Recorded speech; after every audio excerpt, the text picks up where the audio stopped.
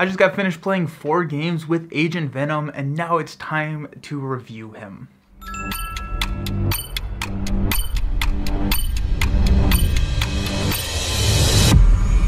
Hello and welcome to Nelson All Over Cards. Today we are talking about Agent Venom, the gunslinging guardian of the galaxy himself. So Agent Venom has a couple of cool things going on. He was packaged um, probably about a year ago. Actually, I have no concept of time anymore. Um, he, has been out for a while. He came out in the Guardian wave, and he has some really interesting mechanics, some really cool cards, so let's talk about them. In Alter Ego, Flash Thompson has a 4 recovery, and he has a printed constant ability that just states that he can control one more restricted card. He comes with 3 of these restricted cards, which we'll talk about here in a second, but it allows him to kind of expand out and utilize his arsenal to his full potential. He has a setup ability called Armed and Ready, which is a little bit of a double-edged sword, because Armed and Ready says you discard cards from the top of your deck until you get a weapon.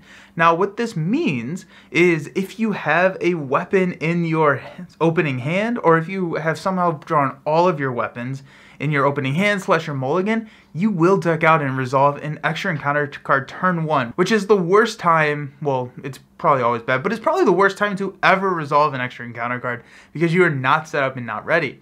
However, it does allow you to kind of get going if you don't have any of those weapons, it does put one into your hand, starting you off with at least seven cards, and then you're able to probably get that restricted item or that restricted weapon onto the table. Also in Alter Ego, he has a card called Project Rebirth 2.0, which is pretty good. It's a support that allows you to either heal for three or draw a card. So I really like that it has this dual purpose. So if you don't have any damage on you, you still can utilize it to draw a card.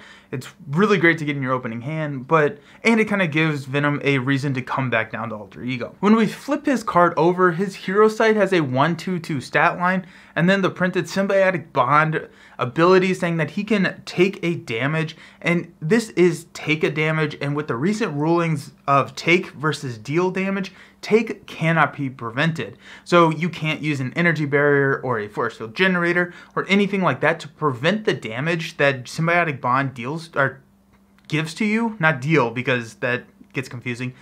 But you do get to generate a wild resource if you take that damage. So a really cool ability and really strong. Turns out utilizing your health as a resource, which is something that I've said before, but using your health, turning it into a wild resource can really help you hit the ground running or just throughout the game. It's a really good way to get some more resources. He has a really strong hero kit, so he comes with three restricted cards. He has two of the Venom's pistols, which state that whenever you use a basic power, you can exhaust a Venom's pistol to give you plus one to that power. So his stat line becomes like a 3-4-4, which is unheard of. It's very, very strong once you get those one cost upgrades onto the table. And then he has the multi-gun. The multi-gun is so very powerful. It has three options on it. You can deal two damage to a single target. You can deal one damage to each minion engaged with a player, or you can remove two threat from a scheme. So even though he has that one thwart power printed on his hero card, once you have the multi-gun, he has a consistent two threat removal. I very rarely use the multi-gun for anything other than the two threat removal, which then allows me to use his basic activation for either dealing damage with an attack or defending for like four once you have the Venom pistols out there. Multi-gun is very good, very flexible. Flexibility is key in a single player setting, and so we love multi-gun. With all of these, he kind of revolves around these three restricted cards, right? The two Venom's pistols and then the multi-gun all have some excellent utilization that Venom can take advantage of. Throw in his run and gun event, which is a three cost event that allows you to ready Venom and every single restrict or every single weapon that he controls allows you to take advantage of them multiple times each round for three. I typically am not playing run and gun unless I have all three of my weapons on the table because I feel like it's a little overcosted at that point. And if I don't have all my weapons on the table, that probably means I'm not fully built out. And so it's very hard to stomach spending three resources for something that doesn't affect the game as much as it possibly could. And I'd probably rather spend those three resources building out maybe throwing my gun on the table or something else that can affect the game state a little bit more than that but there are some situations where when you have two weapons on Run and Gun still works, but once you have three, it's an excellent card. He has some really good defensive abilities. He has a spider sense that gives him Peter Parker's ability that says whenever the villain initiates an attack against Venom, he gets to draw a card. And then he has Grasping Tendrils, which cancels the attack, and if you pay for it with the physical resource, then you get to stun the villain. Then he has also Confuse in his kit with Behind Enemy Lines, which removes threat and confuses if you pay for with the Mental Kicker. And that can always be triggered because of his symbiotic bond ability. He produces the wild resource. So all of these cards that require a kicker, he can always hit, assuming that you haven't already used that ability. Some of the basic cards that Venom likes to run in a lot of his decks are some of the Guardian allies. Since he is printed Guardian, he all those Guardian allies in the gray aspect are very strong, especially when you combine them with Knowhere, increasing that ally limit up to four, and then also triggering a card draw whenever you do get to play one. So whenever you throw like, my favorite in his kit is Gamora, because Gamora allows you to discard cards until you get into an event. A lot of the aspect events are really good, but his kit events are so very powerful. And so if you can flip into a run and gun with Gamora, then mm, that's such a satisfying feeling but he loves those guardian allies. He also really enjoys endurance because of his symbiotic bond ability. Since he is taking that damage, increasing that health threshold up to 15 is very good. With that endurance because he is using his health as a resource. Side holster is kind of interesting, right? It's not required, but it does depend on the deck build. Side holster gives you an additional restricted slot, so he can hold up to four guns. And so I sometimes like running this in like a Justice build if I want a Sonic Rifle in case I needed a little bit more confused. Maybe a Jarnbjorn in Aggression to give some more damage. So it depends on the deck build, but I'm not typically always looking to run this, but it is something that I wanted to bring up and talk about. And then the last one that I do want to talk about, which is also thematic and very, very good, is the Symbiotic Suit. So Symbiotic Suit is the scary card, right? It gives you plus one to all your stats, plus one hand size, plus 10 hit points, and you're resolving an extra encounter card every single turn. Because Venom has the ready with the running guns, he likes the symbiote suit. So brings the stat line up to a 2-3-3. The Venom's pistol is a 4-5-5. With running guns, you can be swinging for 10 each turn. Symbiote suit and Venom thematically pair really well and mechanically pair very well also. I like running Symbiote Suit even in a solo player game. That one extra encounter card typically is offset with how powerful he can become. So let's dive in and rank the aspects in terms of what he's less, least good in into best, and he is good in all of the aspects. Venom's a very, very powerful hero, and so when I say that protection is his fourth best aspect, that does not mean he's not good in it, but there are a couple of things that hold protection back as opposed to some of the other aspects. So protection, he has spider sense, it's great, right? Giving him that extra card draw whenever they initiate an attack is awesome. He has a really easy, perfect defense build with his pistols. He starts with with his pistols on the table in an armor vest, he's defending for five. That's very good. You can run and gun and ready in the hero phase, so you can utilize his incredible stat line for uh, either attacking or thwarting.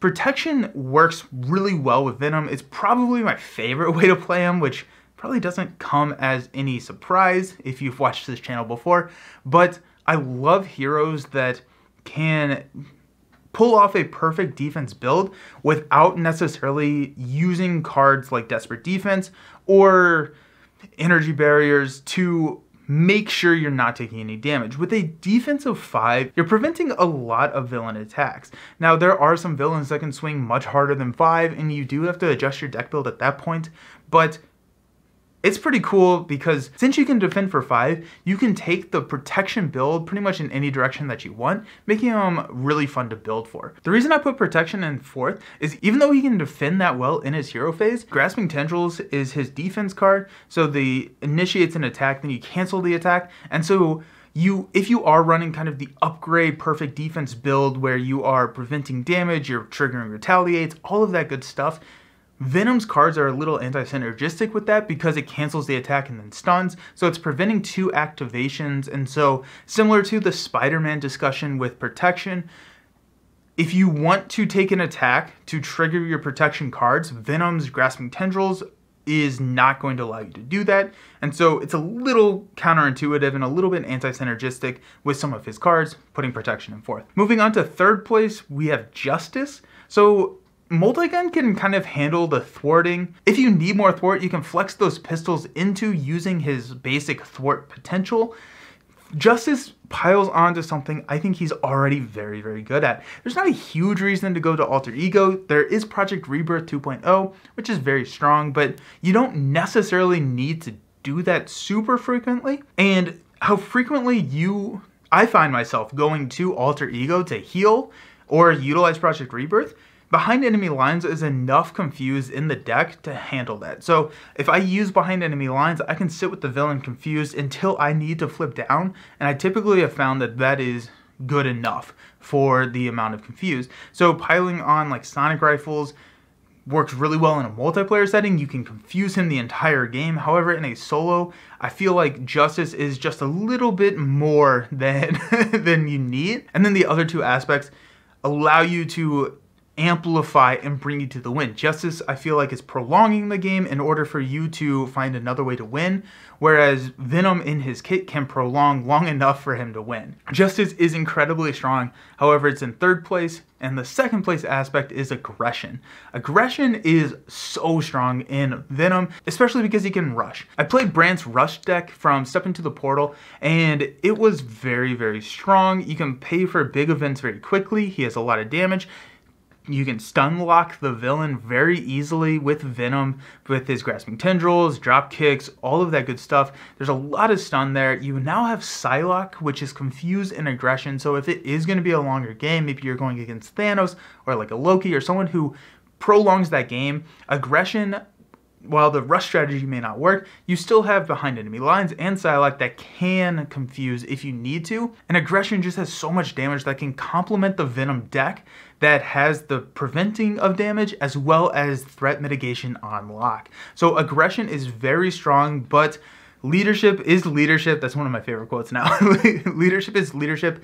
And leadership is so good because one, he's a guardian. Guardians love leadership because of welcome aboard, discounting the allies that you're playing, as well as he has a great economy. He has his symbiotic bond, which gives him a resource every single turn. He has his uh, Spider Sense ability that gives him a card draw. So once you're set up, you have six hand size in hero form. If you're running because of the initiating of attack. If you're running symbiotic suit, you have seven, then plus the resource. So leadership is the big money aspect and Venom can compete and keep up with that big money.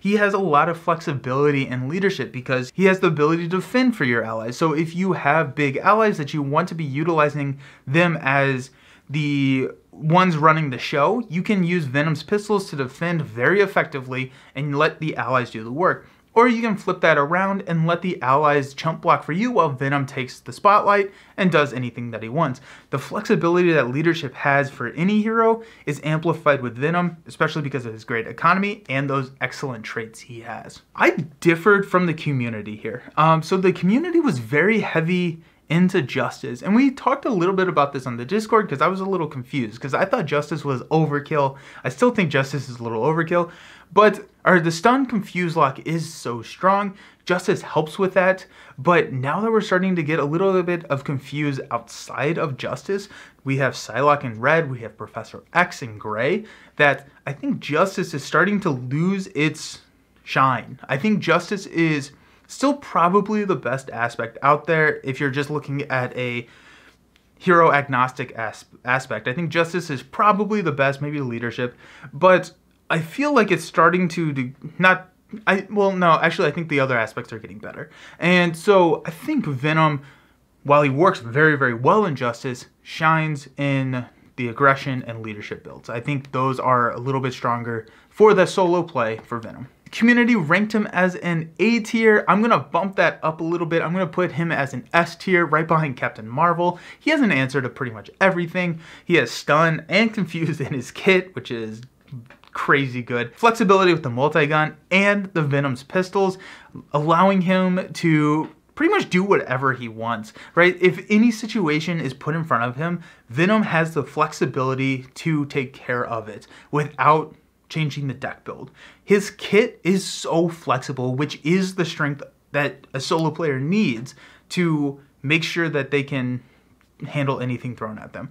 And Venom has that in spades. He's a very excellent hero. He's an incredibly fun hero. I love heroes that trade their health for something, and Venom is one of those where he just trades his health for a resource, which is still just really cool and really strong. I love the fact that he has multiple restricted items. Venom is a very fun hero, he's a very strong hero, and there's not much he can't do. Alrighty, so next up, we are continuing on the Guardian train. We're going to be playing Gamora. Actually, the games are actually already done. And so next up on YouTube, we're going to be posting some of those Gamora games. And then we're going to be diving into Gambit and Rogue after that. So we are coming up on the release of the new heroes, and so I'm very excited for that. Once Gambit and Rogue comes out, we're going to be doing some Blitz um, playing. We're going to play them a lot. We're going to get through their hero aspects and then talk about them as well. I'm excited for that, and if you are as well, go ahead and subscribe to the channel so you don't miss it. Thank you all for hanging out. Go enjoy some champions, and I'll see you around. Peace.